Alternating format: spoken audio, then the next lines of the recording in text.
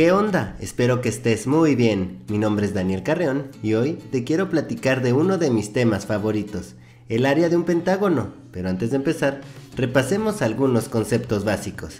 El pentágono es una figura con 5 lados que miden lo mismo y 5 ángulos internos de igual medida. Mira, el pentágono tiene 1, 2, 3, 4, 5 lados y también tiene 5 ángulos internos que miden lo mismo. 1, 2, 3, 4, 5.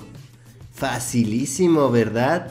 El apotema es una línea que va del centro del pentágono a la parte media de uno de sus lados. Y aquí tenemos nuestro apotema, que es una línea que va del centro del pentágono a la parte media de uno de sus lados. Facilísimo, ¿verdad? El área es la medida de la superficie que abarca una figura y se mide en unidades cuadradas como centímetro cuadrado, metro cuadrado, etc. En otras palabras, el área es la cantidad de cuadros de cierta medida que caben dentro de una figura. La fórmula para calcular el área de un pentágono es área es igual a perímetro por apotema sobre 2. Ahora sí, vamos a ver unos ejercicios. Aquí tengo un pentágono que mide 3 centímetros de lado y 2 centímetros su apotema.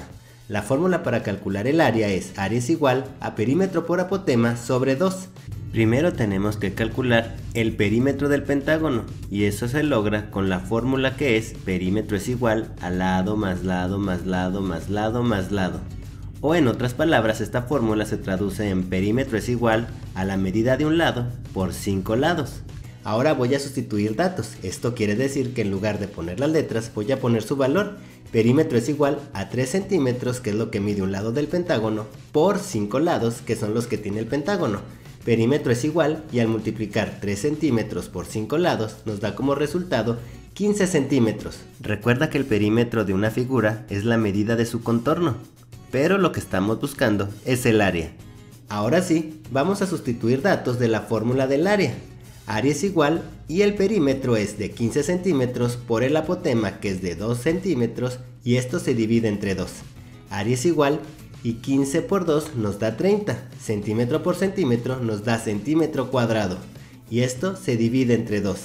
Área es igual y 30 centímetros cuadrados entre 2 nos da como resultado 15 centímetros cuadrados.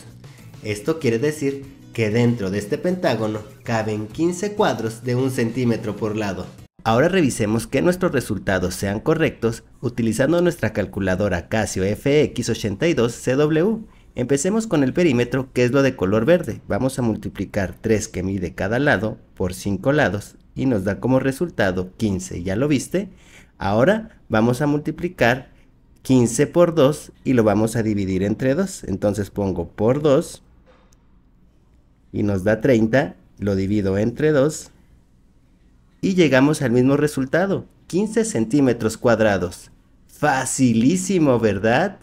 Por cierto, recuerda que al comprar tu calculadora Casio incluye una licencia para que lo utilices por 4 años en tu celular, así que si la olvidas o pierdes, podrás utilizarla en cualquier dispositivo móvil.